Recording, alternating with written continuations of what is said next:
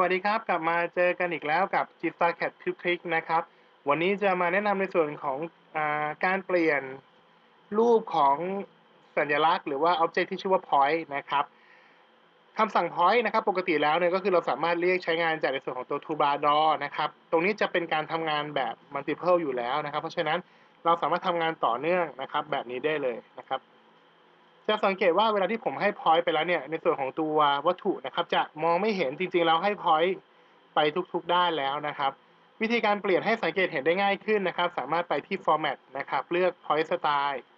หลังจากนั้นทำการเปลี่ยนนะครับในส่วนของตัวลักษณะของ point นะครับ เราจะสามารถมองเห็นได้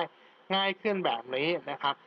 เพียงแค่นี้นะครับ ในส่วนของตัวจุดที่เป็น point เนี่ยเราก็สามารถมองเห็นได้ชัดเจน แล้วก็สามารถทำงานต่อได้รวดเร็วมากยิ่งขึ้นแล้วครับขอบคุณครับ สวัสดีครับ